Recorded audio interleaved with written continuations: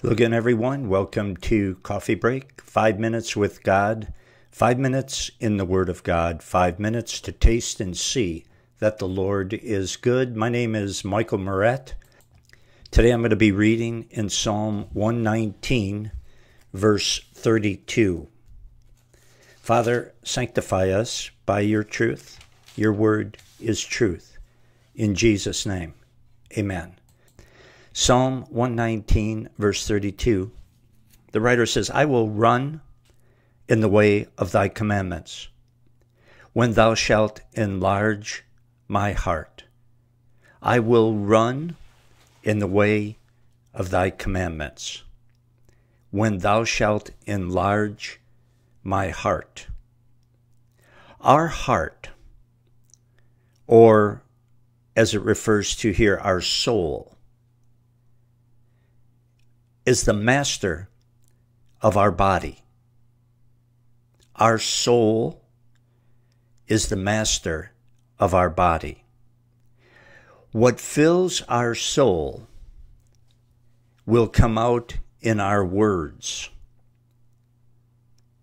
What fills our soul determines how we spend our money. What fills our soul will come out in our words. Because Jesus said, out of the abundance of the heart or the soul, the mouth speaks.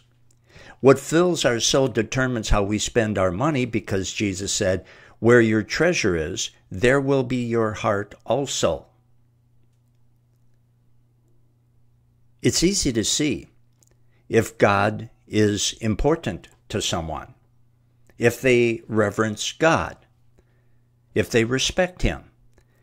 Just look at their credit card bill and see where they spend their money. Listen to them speak and uh, judge their words by the word of God. And you can see the condition of their soul. People do what is in their heart. People act according to what is in their soul. When God grabs a hold of a person's soul and God becomes important to that person, then you will see that person change outwardly in word, thought, action, how they spend their money. You will see that outward change. After a person repents, and makes Jesus Christ their Lord and Savior. There will be a change. You cannot go on in sin if you are truly saved. I'm talking about going on in sin without repenting, without confessing, and feeling perfectly fine about it. No, you have a change of heart. There's a change on the inside of you. You're a different person when you get saved. And you don't always do what is right. You don't always say what is right. Maybe you don't always spend your money the way you should, but that will be the direction of your life.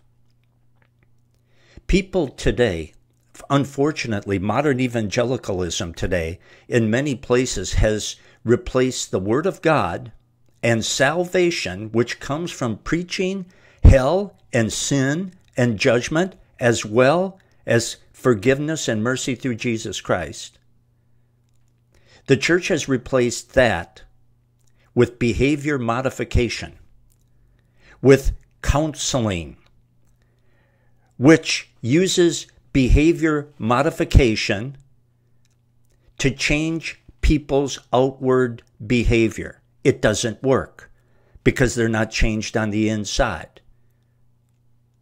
You need to be saved and filled with the Spirit of Almighty God. And then the outside will take care of itself. Jesus said, change what's on the inside, and the outside will become clean. For more of God's Word, go to the Bible verse by verse.com and study it verse by verse with me using my audio Bible messages. Once again, that's at the Bible verse by verse.com. Until next time, this is Michael Meurett. So long, everyone.